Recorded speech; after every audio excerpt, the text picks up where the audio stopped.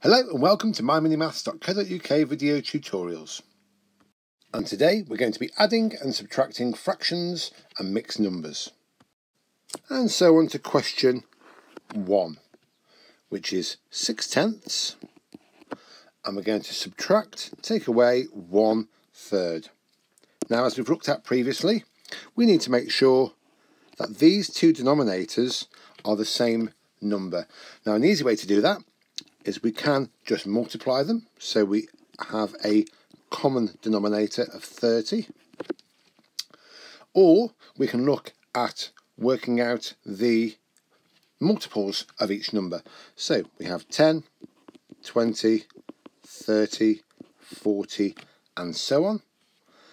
And then for 3, we can have one lot of 3, two lots of 3, three lots of 3, and so on all the way down and eventually we will arrive at a lowest common multiple. Now as you can see this takes much longer. Uh, sometimes, sometimes it doesn't take so long uh, and but it is something to bear in mind because you may need to use this method when the numbers are much harder and it's not so clear uh, which number to use. as it happens we're going to use this 30 here so, what did I do? So these are just equivalent fractions now. So what did I do to 10 to get to 30? Well, I've multiplied it by 3. I need to do exactly the same with the top as well, which gives me 18 for my numerator. What did I do to this 3 to get to 30 down here? Well, I multiplied it by 10. So I've got to do exactly the same with my numerator. So one lot of 10, of course, is 10 and I'm going to subtract. So 18 thirtieths subtract 10 thirtieths give me it gives me an answer of 8 over 30 you could also write this in its simplest form as 4 over 15 either answer is acceptable. And next we're on to question 2 which is 4 sixths this time we're going to be adding, so finding the sum of these two fractions. We're going to add 1 fifth to 4 sixths. Now again, we have a choice on how we're going to find our common denominator here. But I think for, for this question, it's straightforward enough just to multiply them. So again, we're going to be looking at a common multiple of 30.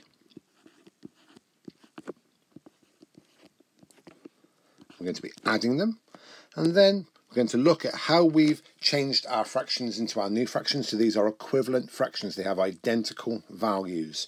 So what have I done to my 6 to get to 30? Well, I've multiplied it by 5. So I need to do exactly the same with my numerator at the top. So 4 lots of 5 or 5 lots of 4 are 20. Then, how did I get from my 5 down to 30? Well, I multiplied it by 6. I need to do exactly the same with my numerator. So one lot of six or six lots of one are six. And then we can look at adding these two numerators together, which of course will give us 26 and it's always out of 30. We'd never add the bottom denominators.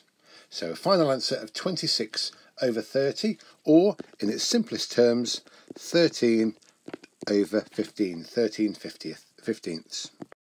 And just to clarify how we add these fractions together, if we have 30 squares, like so, so we've got a 6 by 5 rectangle here, so that has an area of 30 squares. And if I take the first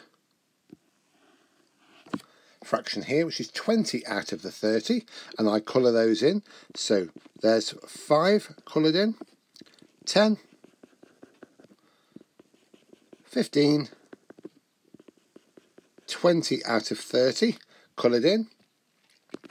And then I look at the second fraction, which is 6 out of 30. So if I colour another 6 of the squares in, like so, you can clearly see that we've we have 4 empty. So altogether, 26 out of the 30 have been shaded in and coloured in when we add them together. And on to the last question, question three, which is one and one third, and we're going to add a quarter to it. And today I'm going to show you two different ways of doing this. Okay, so the first way, we're just going to look at the fraction part of the question. So that's one third, and we're going to add a quarter to it.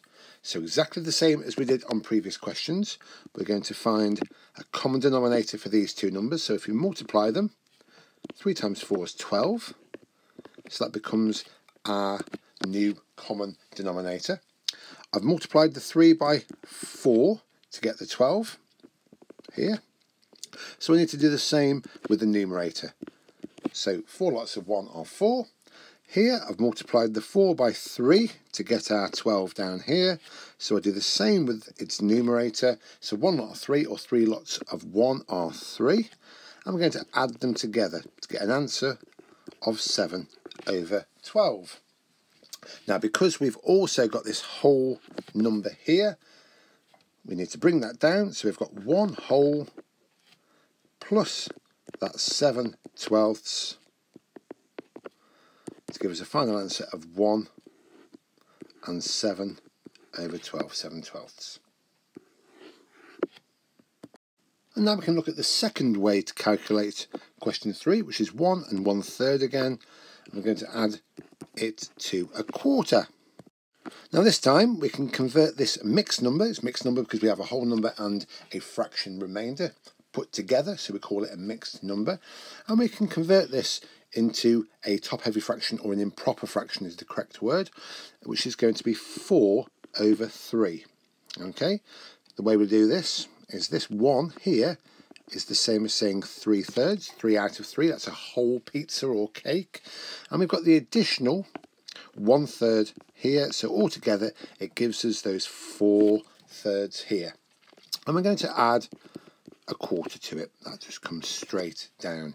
And exactly the same as before, this part's the same.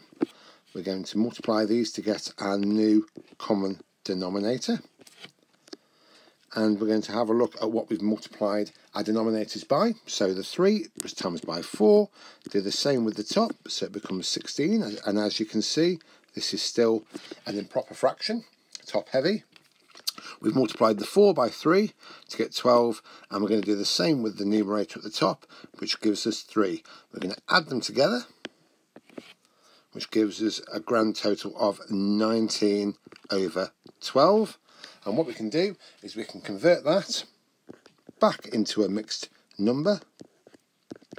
So that's 19 divide by 12. We can fit one 12 into 19 and then there's seven of those twelfths left over. Doesn't matter which way we do it, we get the same answer. I hope you'll find one of them very, very, very useful, maybe even both. Thank you very much for listening today, and I look forward to speaking to you again soon. Take care.